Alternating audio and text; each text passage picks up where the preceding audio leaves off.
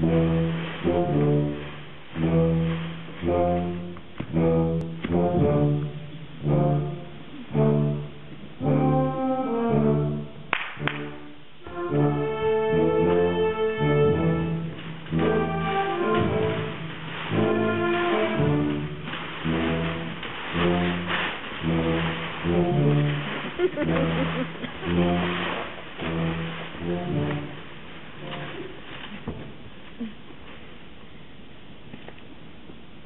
Are you good men and true? Yea, or else it were pity that they should suffer salvation body and soul. Nay, that were punishment too good for them, if they should have any allegiance in them being chosen for the prince's watch. Well, give them their charge, neighbor Dogberry. First, who think you the most desertless man to be constable? Hugh Oatcake, sir, or George Seacole? For they could write and read. Come hither, neighbor Seacole. God hath blessed you with a good name. To be a well-favored man is the gift of fortune, but to write and read comes by nature. Both with Master Constable. You have, I knew it would be your answer. Well, for your favor, sir, why give God thanks and make no boast of it. As for your writing and reading, let that appear when there is no need of such vanity. You are thought here to be the most senseless and fit man for constable of the watch. Therefore, bear you the lantern.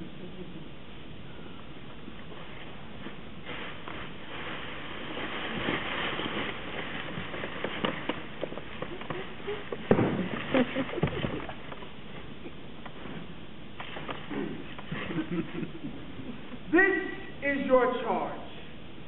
You shall comprehend all vagrant men.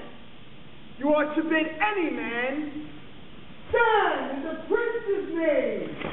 Stand! Oh, how if he will not stand, sir? Why then take no note of him, but let him go. And presently call the rest of the watch together and thank God you are rid of a knave. If he will not stand when he's bidden, he's none of the prince's subjects. True. And they are to meddle with none but the prince's subjects. You shall also then go to us in the street, for for the watch to babble and to talk is most tolerable and not to be endured. We will rather sleep than talk. You know it belongs to a watch. Why, you speak like a most ancient and quiet watchman. For I cannot see how sleeping should offend. Only have a care that your bills be not stolen.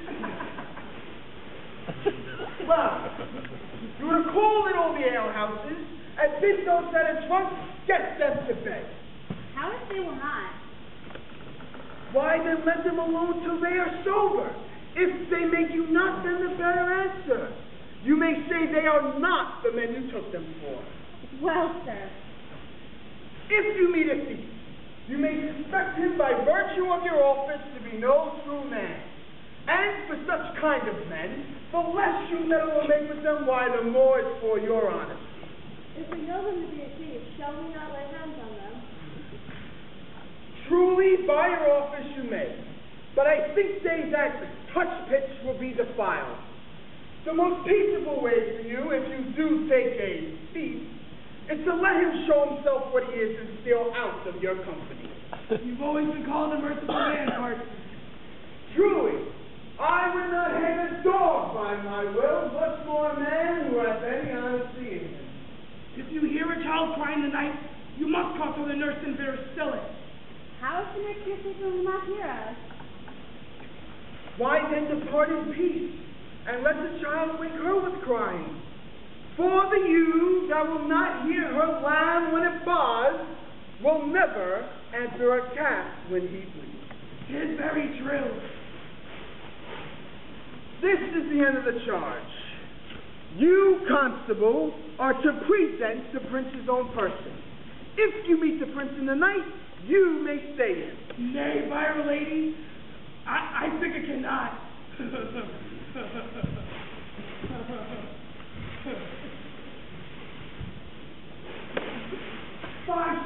well to any man that holds the statutes, he may say him. Marry not without the prince be willing. For indeed the watch ought to offend no man, and it is an offense to stay a man against his will. By'r lady, I think it be so. well, masters, good night. And if there be any matter of weight chance, call up me. Keep your fellows, consuls, and your own. And good night. Stand! Stand! Come, neighbor.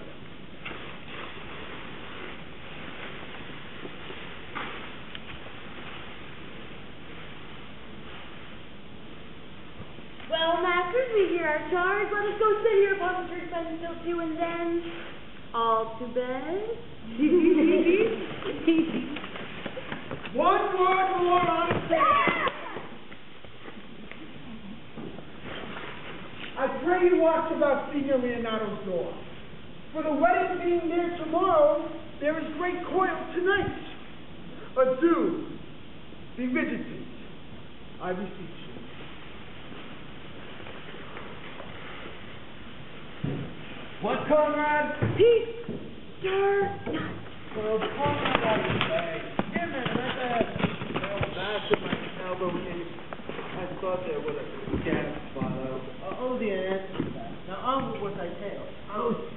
Close, then under this penthouse, for it drizzles rain. And I will, like a true drunkard, utter all to thee. Some treason, master. Stand close. Therefore know, I have earned of Don John a thousand ducats. Oh, I have tonight wooed Margaret, the lady Hero, gentlewoman, by the name of Hero. Oh, she leans me out her mistress's chamber window and bid me a thousand times good night. oh, I tell this tale vilely, though I first should tell thee how the Prince Claudio and my master, planted and placed and possessed by my master Don John, saw far off in the orchard this amiable encounter. Thought that Margaret was Hero? Oh, two of them did, the Prince and Claudio. But the devil, my master, knew she was Margaret, partly by his oath, which had first possessed them, partly by the dark night, which half deceived them, but chiefly by my villainy, which had confirmed any slander Don John had made. Oh, away went Claudio in rage, and swore he would meet her as she was appointed next morning at the temple. And there, before the whole congregation, shamed her with what he had saw, and sent her home again without husband. We charge you! In the prince's name, stand! Stand!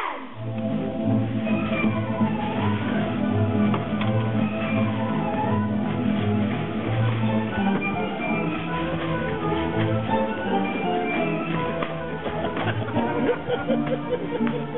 Up. Ah,